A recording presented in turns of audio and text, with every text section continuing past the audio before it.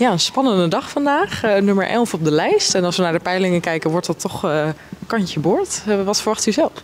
Oh, ik heb er heel veel vertrouwen in. Nee, volgens mij hebben we een hele mooie campagne gevoerd hè, rond onderwijs, klimaat, werken die moet lonen, zorg, jeugdzorg in mijn geval.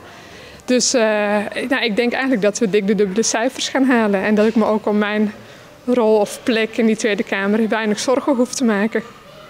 En hoe beleeft u deze dag?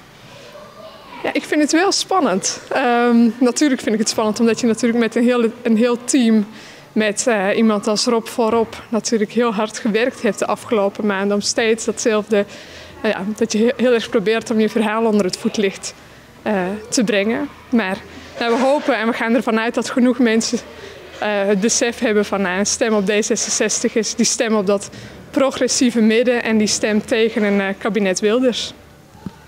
En uh, als u in de Kamer terechtkomt, waar gaat u dan uh, voor inzetten?